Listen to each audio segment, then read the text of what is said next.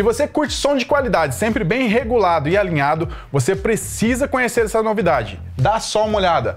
Novo Pro 2.4S da Taramps, um processador digital com quatro vias. Esse processador conta com todos os recursos necessários para deixar seu som sempre regulado, alinhado e com aquela qualidade que você merece. Vem comigo e confira todos os recursos. Mas antes de falar dos recursos que vai dar para ver aqui no display, inclusive vamos ligar aqui o processador, quero falar de um recurso que ele não aparece aqui no display e nem por fora, mas ele está presente nesse processador, que é o sistema anti-puff. Você já deve ter ouvido falar ou até presenciado aquele famoso estouro que acontece na hora de ligar ou desligar o som. Com o Pro 2.4S você não tem esse problema. Ele tem um circuito que evita esse tipo de estouro. Então, não vai ter nenhum tipo de estouro indesejado. Outro detalhe, ele tem dois tipos de entrada de áudio. Tradicional RCA, para você usar com qualquer tipo de player que tem esse tipo de saída. E também, ó, tá aqui o chicotinho, tá até enroladinho, bonitinho. Entrada fio, tá aqui, ó, vamos erguer aqui para vocês verem. Entrada de áudio por fio, para você poder conectar aquele player, aquela multimídia original que não tem saída RCA. Quando a gente usa essa entrada, não precisa de acionamento remoto, então não vai precisar de adaptador, não vai precisar de nada, ele vai acionar por nível de áudio.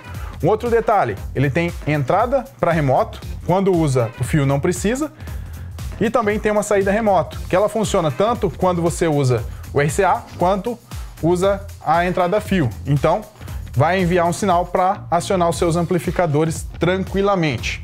Outra novidade, o clipe de sinal de entrada. Mas para que serve esse clipe? Ele serve para te indicar caso você exceda o volume que o processador aceita na entrada. Então, se exceder e saturar o sinal, você já vai mandar um sinal distorcido lá para o teu sistema. Monitorando aqui, você não vai ter esse problema. Se você exceder o nível de volume ou tensão, o LED amarelo aqui, ele vai piscar, tá? Indicando para você que ele está saturando a entrada. Esse clipe, assim como o clipe de saída que nós já vamos ver, eles auxiliam naquela famosa estrutura de ganho. Ele vai facilitar na hora de você fazer todo o ajuste do teu sistema de som. O clipe de saída é individual para cada canal, então são quatro LED clip, são LEDs vermelhos Caso o sinal esteja distorcendo na saída do seu processador, o LED vermelho vai atuar. Então eu vou aumentar bem o volume aqui, ó. Tá vendo? Acendeu o LED vermelho. Caso a gente acione a função limiter, esse LED ele também vai fazer essa indicação. Aí no caso do limiter acionado, ele vai indicar que o seu processador está limitando.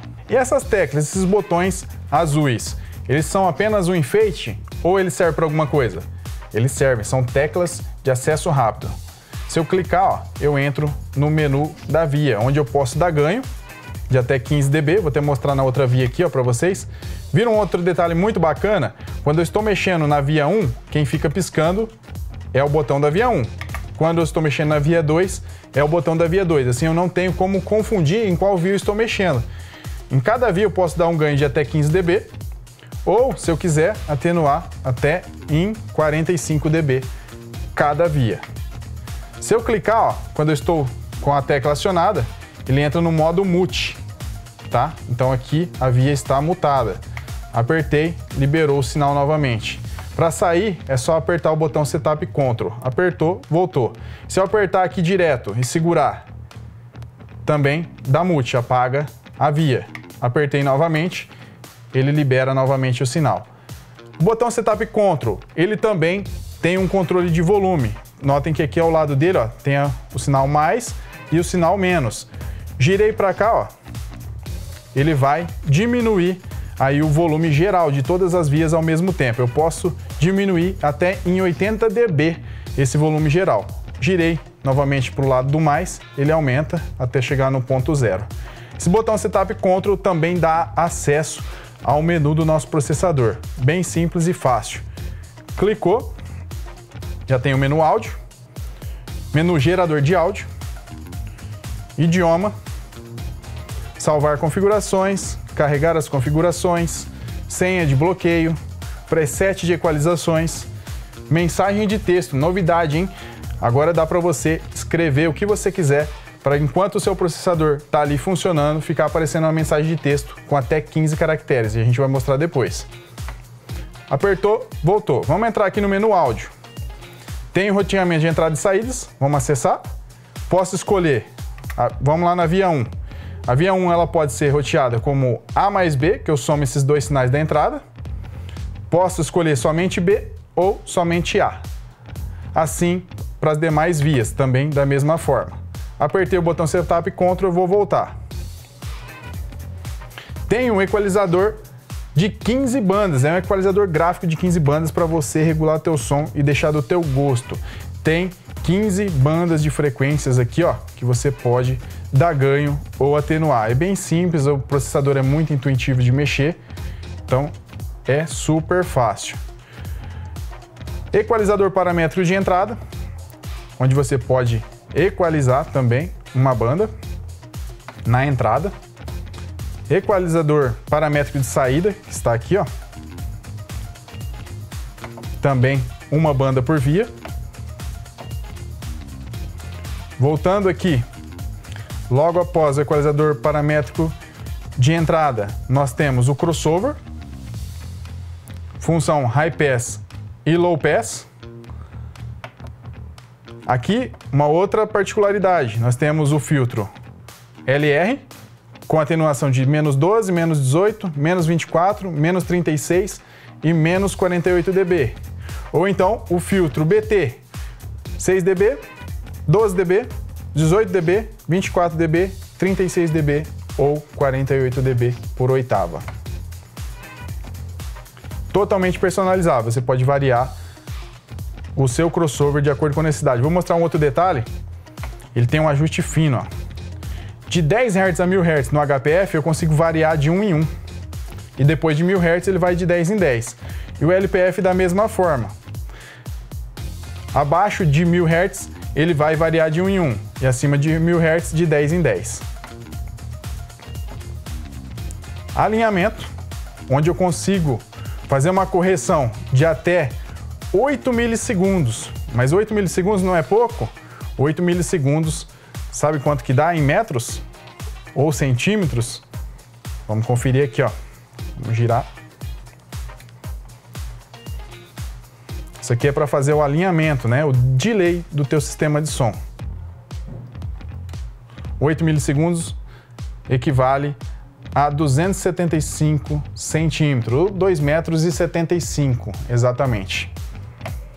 Vamos sair aqui da função alinhamento.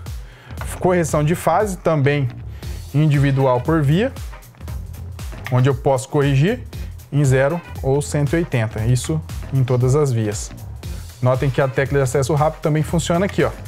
Eu posso escolher qual via eu vou mexer e escolher aqui se é 0 ou 180. Isso para todas as funções.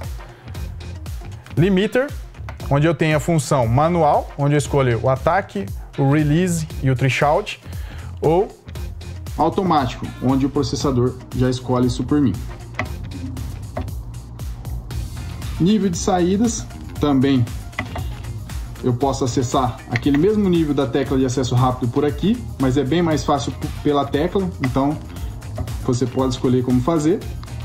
O equalizador paramétrico de saída que já falamos. E voltamos aqui para o menu áudio. Gerador de áudio, você pode escolher frequência fixa, onde você escolhe a frequência e também o nível de saída dela. Você ativa e escolhe o volume de saída. Ou então o sweep. Sweep lento, sweep médio e sweep rápido. Isso aqui é ideal para quem quer traçar a curva de resposta do som. Então, para fazer alinhamento, isso ajuda demais. Idioma, posso escolher português, inglês ou espanhol. Isso aqui, quando você ligar o seu processador a primeira vez, a primeira coisa que ele vai pedir é para você definir o idioma, tá? Aqui no menu Salva Configurações tem uma sacada bem legal.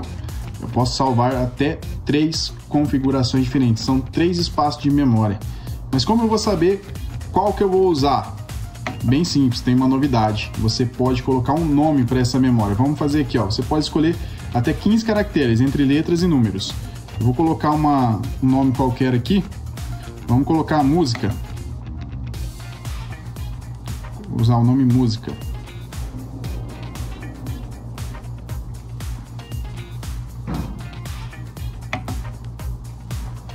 Você pode colocar o nome que você achar melhor, tá? Competição, pancadão, aquilo que você achar interessante aí para você lembrar qual é a configuração que você vai estar tá usando.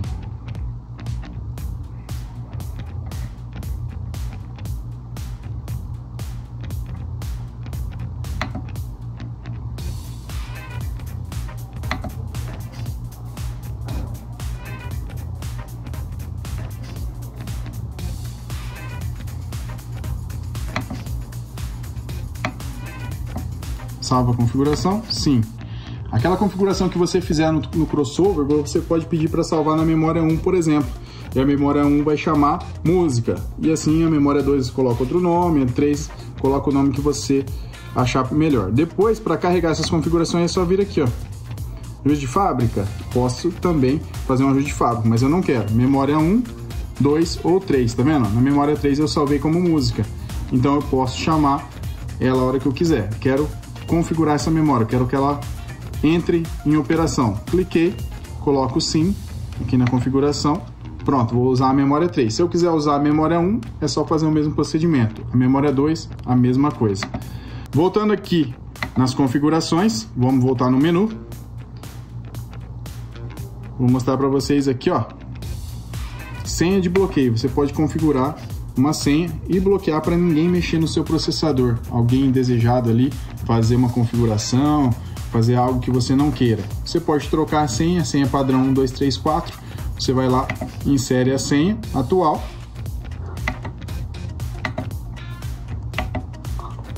E coloca uma nova senha que você lembre, tá? Voltando aqui no menu, vou mostrar uma outra função para vocês, muito interessante também, tá? Mensagem de texto. Essa mensagem de texto aqui, diferente da memória, eu vou ativar ela. Vamos colocar aqui, vou escrever taramps.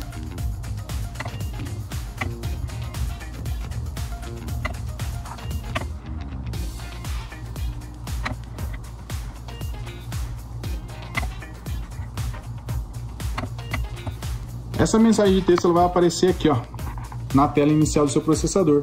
Você pode colocar o teu nome, o nome do teu carro, do teu sistema de som, enfim, aquilo que você achar melhor. Você pode escrever também com 15 caracteres essa mensagem. Clicou, ele volta aqui para o menu. Vamos lá conferir. Depois da mensagem de texto, tem um preset de equalização que eu quero mostrar para vocês. Isso aqui é muito bacana. Lembra que eu falei do equalizador gráfico de 15 bandas? Esse preset atua justamente na equalização, só que ele já vem pronto para você usar e facilitar a tua regulagem. O primeiro que aparece é o Custom EQ, que é aquele que nós vamos configurar manualmente, escolher quais são as frequências que eu quero dar ganho ou atenuar, que também pode ser feito através daquele outro menu do equalizador gráfico de 15 bandas. Tem a posição flat, onde não vai ter nenhuma equalização, função loudness, bass boost, Mid Bass Boost, Tremble Boost, Powerful, Electronic, Rock Style, Hip Hop Style, Pop Music, Vocal ou Competition. São várias configurações, são 12 para você escolher de uma forma simples e fazer o ajuste, as equalizações do teu sistema de som de forma muito prática e rápida. Gostou da novidade? Se você curtiu e está precisando de um processador para o teu sistema de som, já corre e garante o Pro 2.4S que já está disponível nas melhores lojas físicas e online do segmento. Forte abraço e até a próxima!